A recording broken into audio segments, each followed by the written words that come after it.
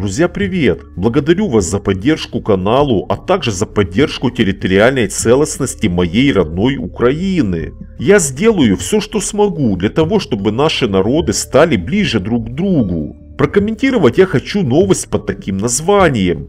Баку может сказать «нет» любому давлению. Цитирую новость.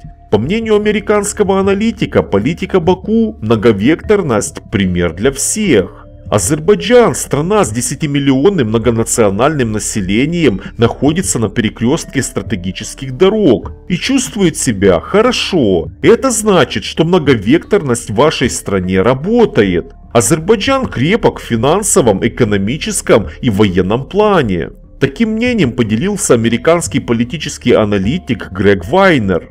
Кто-то, конечно, может попытаться надавить на Азербайджан, но вот продавить его вряд ли удастся. Баку может себе позволить сказать «нет» любому давлению, которое на него может быть оказано, заявил эксперт.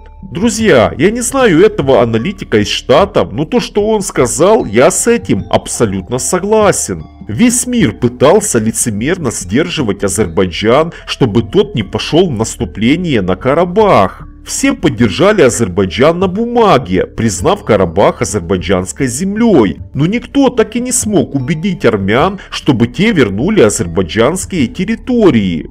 И что ж получается, мировое сообщество решить вопрос Карабаха так и не сумело, но при этом начало оказывать давление на Баку, чтобы азербайджанцы не начинали решать этот вопрос силой. Что это за двойные стандарты? Но по сути Азербайджан не испугался никого и решил вопрос Карабаха за 44 дня чем поставил на место не только Армению, а и все мировое сообщество, которое лицемерило, смотря в глаза азербайджанского народа. Баку не только умеет ставить высокие цели, а и добиваться их.